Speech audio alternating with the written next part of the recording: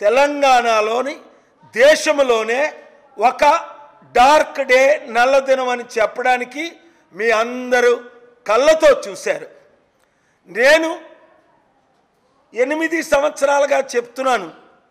కేసీఆర్ గారు ముఖ్యమంత్రి అయిన తర్వాత తెలంగాణ బంగారమైన తెలంగాణ రాష్ట్రాన్ని గూండా రాష్ట్రముగా డ్రగ్గు రాష్ట్రముగా మాఫియా రాష్ట్రముగా అవినీతి రాష్ట్రముగా అక్రమ రాష్ట్రముగా దోచుకునే రాష్ట్రముగా టోటల్ లా అండ్ ఆర్డర్ లేకుండా ఎక్కడో యూపీలో ఉన్న జోషిని వరంగల్ సిపిగా పెట్టారు. ఒక మాఫియాలా ఆయన బిహేవ్ చేస్తున్నాడు. ఈరోజు ఎస్పీ ఆఫ్ సిరిసిల్ల డిఎస్పి చంద్రశేఖర్ని సిఐ అనిల్ కుమార్ని ఒక యాభై మంది పోలీసుల్ని ఇద్దరు గోండాల్ని పంపించి నన్ను నా మీద దాడి చేసి నన్ను కొట్టారు చంపబోయారు మీరు కళ్ళతో చూశారు. అందుకనే తెలంగాణ హోమ్ మినిస్టర్ అలీ గారు మీకు థ్రెట్ మేము సెక్యూరిటీ ఇస్తామంటే కమిషనర్ ఆఫ్ పోలీస్కి ఇంట్రెస్ట్ ఇన్స్ట్రక్ట్ చేస్తే ఇక్కడ CP Anand commissioner of police ఎవడు కేపాలని డైరెక్ట్గా లెటర్ పట్టుకెళ్తే మా విజయ్తో అన్నారు జిహెచ్ఎంసీ కమిషనర్ని కూడా నేను ఇరవై ఏడుని కలవడానికి వెళ్తే ఆయన కూడా ఐపీఎస్ గుండాగా బిహేవ్ చేసి నన్ను కలవకుండా కేటీఆర్ని కలిశారు అదే సమయంలో. ఇక్కడున్నది గుండా రాజ్యమా మాఫియా? అందుకని డీజీపీ ఇక్కడ తెలంగాణ డీజీపీ మహేందర్ రెడ్డి గారు వీలైతే నేను రేపు ఆయన ఆహ్వానిస్తున్నాను. ఈ ఆఫీస్కి రమ్మని కలవమని ఎందుకంటే ఆయన రెస్పాన్సిబుల్ పర్సన్. ఎడిషనల్ డీజీపీగా ఉండేటప్పుడు రెండు వేల పన్నెండులో అహ్మద్ పటేల్ గారు ఆయనకి అప్పుడున్న డీజీపీ ఆయన ఎడిషనల్ డీజీపీ కాల్ చేస్తే నాకు పిలవకుండా ఆహ్వానించుకుంటా పోలీస్ సెక్యూరిటీని ఇచ్చారు. గత ముప్పై మూడు సంవత్సరాల్లో ఈ సిటీలో ఏ ప్రైమ్ మినిస్టర్కి ప్రెసిడెంట్కి చీఫ్ మినిస్టర్కి ఇవ్వని సెక్యూరిటీ నా శాంతి సభలకి లక్షల మంది వస్తారని నా మీటింగులకి యా ఐదు వందల మంది సెక్యూరిటీని ఇచ్చేవారు. అలాంటిది ఈరోజు వీళ్ళు నన్ను చంపడానికి కేసీఆర్ కేటీఆర్ నన్ను చంపడానికి ప్లాన్ చేస్తున్నారని నెల రోజుల కిందటే నేను ఫేస్బుక్ ద్వారా లెటర్ల ద్వారా మీడియా ద్వారా నేను చెప్పడం జరిగింది. ఈరోజు అది మీకు రుజువు అయిపోయింది అయితే ఒక జర్నలిస్ట్ నన్ను ప్రశ్న అడిగారు మీరు వెళ్ళిపోతారా ఆంధ్ర కానీ అమెరికా కానీ అంటే అసలైన రాజకీయం స్టార్ట్ అయింది తెలంగాణ ప్రజల్ని రక్షించడానికి. ఈరోజు నా మీద దాడి ప్రపంచంలో ఇంతవరకు ఎవడు చేయలేదు చేయడానికి సహించలేదు కనీసం ప్రయత్నించలేదు. అలాంటిది ఈ కేసీఆర్ ఈ కేటీఆర్ ఈ గోండాలు పెట్టి పోలీసులే గోండాలు పెట్టి ఒక్క టీఆర్ఎస్ సభ్య ఇద్దరు వచ్చారు ఇద్దరు నాకు నమస్కారం పెట్టారు. అది కూడా రికార్డింగ్లు ఉన్నాయి.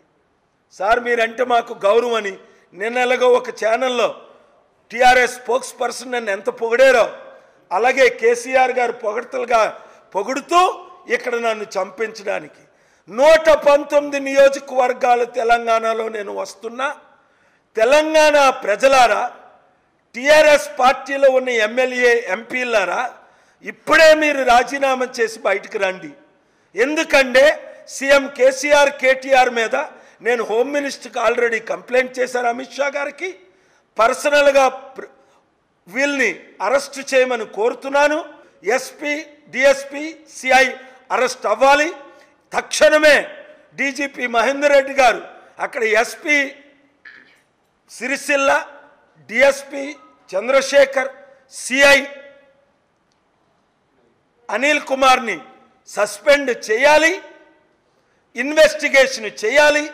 చేయని పక్షమున నా ప్రియమిత్రులైన అమిత్ షా గారు ఎంతో గౌరవించిన ఆయన ఇన్వెస్టిగేషన్ చేస్తారు. కోర్టులు ఇన్వెస్టిగేషన్ చేస్తాయి. నేను మరలా ఇప్పుడు ఏ రైతులైతే నన్ను పిలిచి అయ్యా మాకు అన్యాయం జరిగింది సాయం చేసిన వాళ్ళు ఎవరు లేరు అని పిలిస్తే నేను వెళ్తున్నాను. వాళ్ళు లైన్లో ఉన్నారు. ఇప్పుడు వారి మాటలు మీరు రెండు నిమిషాలు విన్న తర్వాత నేను ఇప్పుడు ప్రెసిడెంట్ రూల్ డిమాండ్ చేస్తున్నాను ప్రెసిడెంట్ ఆఫ్ ఇండియాని కలిసి. హోమ్ మినిస్టర్ అమిత్ షా గారిని వీళ్ళని అరెస్ట్ చేయమని ఇన్వెస్టిగేట్ చేయమని కోరుతున్నాను. డీజీపీ గారికి చిత్తశుద్ధి ఉంటే మహేందర్ రెడ్డి గారికి ఆయన ఒక మంచి వ్యక్తి కనుక ఇమీడియట్గా అక్కడికి వచ్చి నన్ను ఇల్లీగల్గా ఎందుకు ఆపారు? నేనేం తప్పు చేశాను? కోర్టులు ఏమైనా ఆర్డర్లు ఇచ్చాయా? గత వారం కూడా మహబూబ్ నుంచి పోలీసులు వచ్చారు. పాత కేసులో నన్ను అరెస్ట్ చేద్దామని.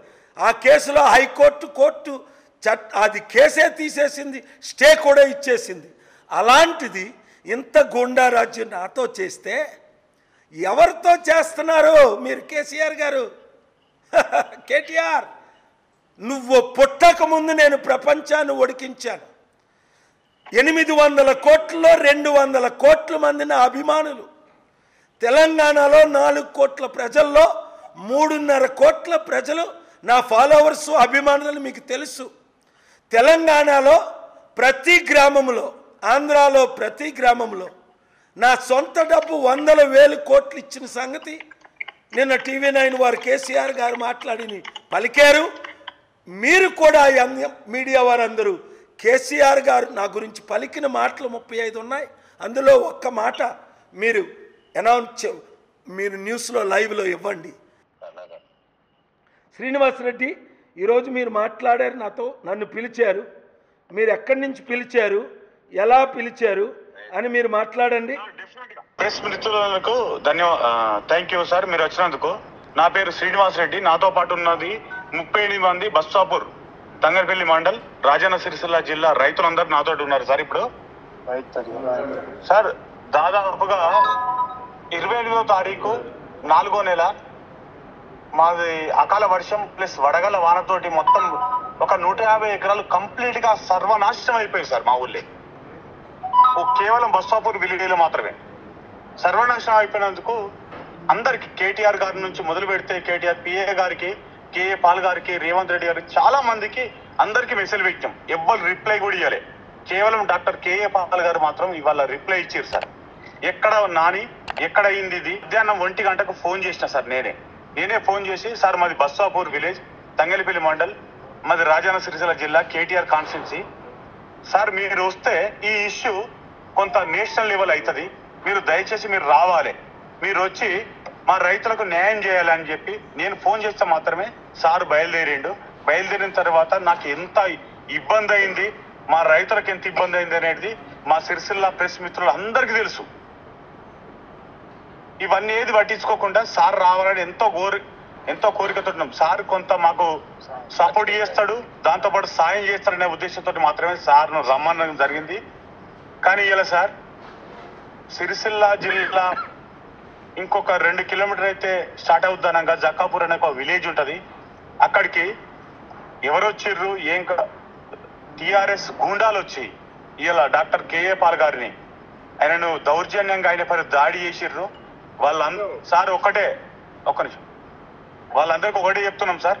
ఇవాళ డాక్టర్ కేఏ పాల్ గారు మా ఊరికి వస్తే మమ్మల్ని ఆపిరు కదా. రేపు ప్రొద్దున రేపు ప్రొద్దున మేము డాక్టర్ కేఏ పాల్ గారిని కలిసేందుకు పోతున్నాం. బస్సాపూర్ రైతులందరం కలిసిపోతున్నాం. మమ్మల్ని ఆపే దమ్ము మమ్మల్ని ఆపే ధైర్యం. కేటీఆర్ కానీ లేకుంటే కేటీఆర్ చెంచాలకు కానీ లేకుంటే టిఆర్ఎస్ గూండాలకు కానీ ఎవరికన్నా ఉంటే మమ్మల్ని ఆపుర్రి మేము ఏ పార్టీకి సంబంధించిన కాదు సార్. ఇప్పటి వరకు మేము ఏ పార్టీకి కండు వేసుకోలే. ఇప్పటి వరకు మాతో ఉన్న నాయకులు ఎవ్వరు కూడా మాతో ఉన్న రైతులు ఎవ్వరు కూడా ఏ పార్టీ కండువతో తిరిగిన వాళ్ళు కాదు. వాళ్ళందరికీ ఒకటే చెప్తున్నాం. కేఏ పాల్ గారు మా దగ్గరికి వస్తా అంటే ఆపారు కదా. కేఏ పాల్ గారు మా దగ్గరికి వస్తా అంటే దౌర్యం చేసారు కదా. మేము రేపు పోతున్నాం డాక్టర్ కేఏ పాల్ గారి దగ్గరికి. ప్రొద్దున తొమ్మిది గంటలకు మా బస్సాపూర్ గ్రామం నుంచి పోతున్నాం. ఎవరైనా దమ్ము ధైర్యం ఉంటే మా బస్సాపూర్ గ్రామంకి వచ్చి మమ్మల్ని ఆపే ధైర్యం చేయరు పోలీసులు ఆపుతారా? లేకుంటే టిఆర్ఎస్ నాయకులు ఆపుతారా? ఎవరు ఆపుతారా ఆపుర్రి. మీకు రైతుల పవర్ ఏంటో చూపిస్తాం. రైతుల పవర్ అంటే చూపిస్తాం? మీరు ఎల్లకాలం మీకు పదవి కాలం ఉంటుందని మీరు భావిస్తున్నారు కావచ్చు కానీ మీకు పదవి కాలం ఉంటది? ఏ పార్టీకి ఉండదు ఏ నాయకునికి ఉండదు ఇయ్యల్ల సార్ ఒకటే అమ్మ పెట్టదట అడక తిరినివ్వదట ఇయ్యల్ల కేఏ పాల్ గారు నేను పెట్టిన మెసేజ్లకు ఒకటే స్పందించి రైతులు ఎంతమంది ఉన్నారు నాని అని పెట్టిండు. ముప్పై తొమ్మిది మనసారం పెట్టిన. నాని మీకు ప్రతి ఒక్క కుటుంబానికి నా వంతు సాయం చేస్తా మీ దగ్గరకు వస్తా. మీకు ఎంత కావాలి? మీరు ఎంత నష్టపోయారు అడిగితే గుండె దరకపోయి ఒక్కొక్క ఆడవాళ్ళు ఏడ్చిన వీడియోలు మీకు పంపిస్తాను నేను ఇప్పుడు. ఒక్కొక్కరు ఏడ్చిన వీడియో చూస్తే ప్రతి ఒక్కరు ఇవాళ బస్సాపూర్ గ్రామంలో జిల్లా మొత్తంలో వచ్చిన రిపోర్టర్లు ఏడ్చారు సార్. ఒక్కొక్కరు రైతులు అకాల నష్టంతో నష్టపోయిన రైతులందరూ ఏడుస్తే కొన్ని కనీసం ఉండాలి సార్ తెలివి. ఇవాళ మీరు జక్కాపూర్ లాపారు కదా బస్సాపూర్కి వస్తాడు ఛాలెంజ్ చెప్తున్నా బస్ స్టాప్కు మా సార్ వస్తాడు. నేను సార్ పార్టీ కాదు సార్కు సంబంధం లేదు. ఇప్పటి వరకు నాకు సార్ తోటి ఒక ముఖాముఖి చర్చ కూడా జరగలేదు ఒక మీటింగ్ కూడా జరగలేదు.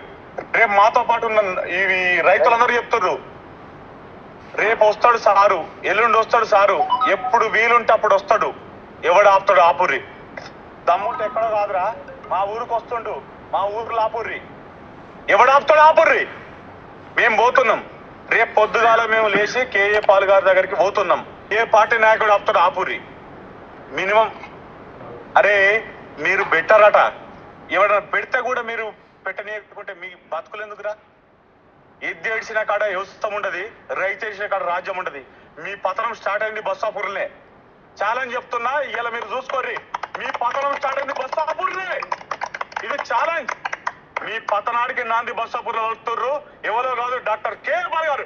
కేఎల్ గారు నాయకత్వం. నాయకత్వం. నాయకత్వం.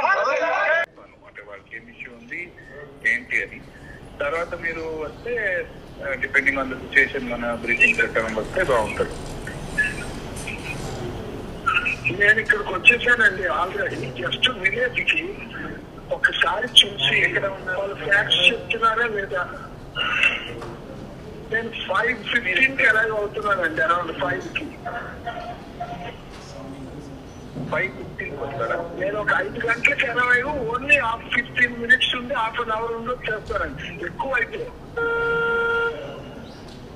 అట్లా కాదు. మీరు ఇప్పుడు ఎక్కడ ఉన్నారు అండ్ అక్కడికి ఎందుకు వస్తున్నారు? అక్కడ మనం లాంగ్ ఆర్డర్ ఇష్యూ ఏం కాకుండా మనం చూసుకోవాలి కదా మన పోలీస్ బాధ్యత కదా. సో దానికోసం మీకు అడుగుతున్నాను. ఎవరు చెప్తున్నారు? అవునండి. నేను ఇప్పుడు ఇది ఏ ఏరియాలో ఉన్నారా? మీకు తెలుసా? ఇక్కడ మనం ఆ సిరిసిల్ ఇంకా ఎంటర్ అవ్వలేదండి. డిస్ట్రిక్ట్. అవుట్స్కట్స్లో ఉన్నాం. ఆ బస్వాపూర్ విజయ్ బస్వాపూర్ కదా మండలం? తంగళ్ళపల్లి మండలం బస్వాపూర్ విలేజ్. బస్వాపూర్ విలేజ్ అండి. ఐఎమ్ నాట్ ఎక్స్పెక్టింగ్ ఎనీ దాన్ని ఏమంటారు? Not expecting any controversy or అంటే యాక్చువల్లీ వడగండ్ల వాన పడి రైతులు నష్టపోయారని చెప్పేసి రిక్వెస్ట్ చేస్తే మనం చూడండి we're expecting some issue over there okay so that is అంటే మన సజెషన్ ఏమంటే మీరు రావడం కరెక్ట్ విలేజ్ సిచ్యుయేషన్ తెలుసుకోండి. చెప్పిన తర్వాత మీకు మీరు వస్తే కరెక్ట్ ఉంటుంది.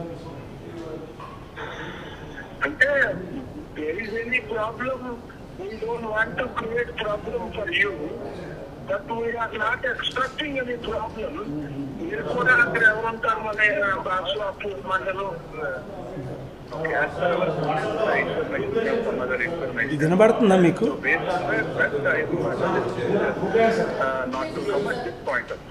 పంపించేసాయి చూడండి ఎంత ఎంత మొత్తం. నేను ఎలా మాట్లాడుతున్నాను ఎస్పీ గారు? మేము ఇప్పుడే అనౌన్స్ చేశాము. అక్కడ ఎవరూ లేరు ఎవరికీ తెలీదు. ముప్పై ఎనిమిది కుటుంబాలని దర్శించి ఐదు పది నిమిషాలు ఎక్కువైతే పదిహేను నిమిషాలు ఉంటాను. మీకేమైనా ల్యాండ్ ఆర్డర్ ప్రాబ్లం ఎందుకు ఉంటుంది ఒక విలేజ్ నేను వెళ్తే అంటే అంత గూండారాజ్యం ఉందా? ఒక గ్రామం కూడా నేను వెళ్ళకూడదా? కేటీఆర్ గారు మొత్తం దత్తత తీసేసుకున్నారా? ఒకవేళ ప్రాబ్లం ఉంటే మీరు మీరు రండి. మీ ఆఫీస్కి నేను వస్తాను సిరిసిల్ల. మీరు మాతో పాటు రండి. వెళ్దాం. నేను ఎవరిని క్రిటిసైజ్ చేయను. చక్కగా మాట్లాడి వారికి ప్రార్థన చేసి కొంత ఏదో గిఫ్ట్ ఇచ్చి రైతులకు అండగా ఉంటాను. లేదండి మీరు రావద్దు. మా ఇన్ఫర్మేషను మా ఇన్ఫర్మేషను అక్కడ ప్రాబ్లం జరుగుతుందని. అక్కడేంటి ప్రాబ్లం? ప్రూఫ్ రుజువు చేస్తాయి కదా కోర్టులో?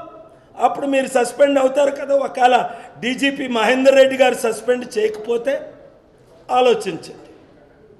ఇప్పుడు మీరే ఎస్పీ గారు మినీస్ అక్కడ సిఐని డిఎస్పీని సస్పెండ్ చేయాలి. అప్పుడు ఎస్పీ గారి విషయంలో తర్వాత ఆలోచిస్తాం.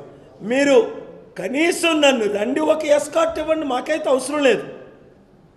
ఎందుకంటే మేము హోమ్ మినిస్టర్ని ఆరు వారాల క్రిందట నేను మాట్లాడితే ఇమ్మన్నారు. సిపి ఆనంద్ గారు ఇవ్వనని రిజెక్ట్ లెటర్ ఉంది మీరు చూడండి అది. మేము కోర్టులో వేస్తున్నాం. అలాగే మరలా లెటర్ పెడితే ఇప్పుడు డీజీపీ గారు సెక్యూరిటీ ఇమ్మని ఏప్రిల్ ఇరవై ఏడుని ఇంటెలిజెన్స్కి లెటర్ పడితే ఇవాళ ఏ రోజు? మే మూడో తారీఖుని. సెక్యూరిటీ ఇవ్వలేదే. అంటే సంవత్సరం నుంచి నేను వస్తానని లెటర్లు పెడుతుంటే సెక్యూరిటీ ఎవరు? ఎనిమిది సంవత్సరాల నుంచి శాంతి సభలు పెడతానంటే పర్మిషన్ ఎవరు? గ్రౌండ్ పర్మిషన్లు వచ్చిన తర్వాత ఎనిమిది సంవత్సరాలు సంవత్సరానికి ఒక మీటింగ్ పెడదాం. ఒక లక్ష కోట్లైనా తీసుకొద్దాం. కనీసం ఒక హండ్రెడ్ బిలియన్ తెస్తాను నేను. రెండు రాష్ట్రాలకి సగం సగం పంచుకుందాం. మూడున్నర లక్షల కోట్ల అభివృద్ధి. ఇన్వెస్ట్మెంట్లే కదా అయ్యి అందరికీ బాగుంటుంది కదా. నాకు రూపాయి వద్దు. మీరే తీసుకోండి. నేను రాజకీయాల్లో అవసరం లేదనే కదా. తెలుగుదేశం పార్టీకి అక్కడ టీఆర్ఎస్కి ఇక్కడ బీజేపీకి సెంటర్లో నేను చేశాను. మరి మీరు చెయ్యరు ఇన్న రైతులు అన్నట్టు నన్ను చేయలేరు మీరు ఎవ్వరు నన్ను ఎవరెవరు మీరు తేలేరు నన్ను తేనెవరు ఇదేంటిది? కో కొల్లలు చనిపోతుంటే ఆత్మహత్యలు చేసుకొని దేశంలో రాష్ట్రంలో లక్షల ప్రజలు చనిపోతుంటే తిండి లేక లక్షలు కరోనా వచ్చి లక్షల కోట్లు. ఉద్యోగాలు లేక లక్షలు. మీరు మీకు ఎలాగ నిద్ర వస్తుంది రాత్రిపూట్ల ఈరోజైనా ఐదు నిమిషాలు కేసీఆర్ కేటీఆర్ గారు కళ్ళు మూసుకొని ప్రార్థించుకోండి. మీరు ఎవరిని ప్రార్థిస్తారో మీ ఇష్టదైవాన్ని ప్రార్థించుకోండి.